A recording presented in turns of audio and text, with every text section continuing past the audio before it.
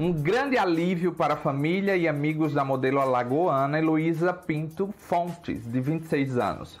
Ela estava desaparecida há um ano quando ainda passava uma temporada em Nova York e foi encontrada no Rio de Janeiro recentemente, essa semana.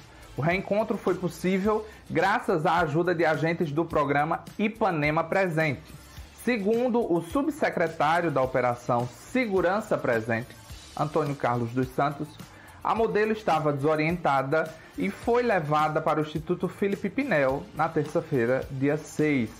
O instituto é um hospital psiquiátrico em Botafogo, onde ela está sendo assistida por uma equipe médica. Graças a Deus que ela foi achada e bem, né?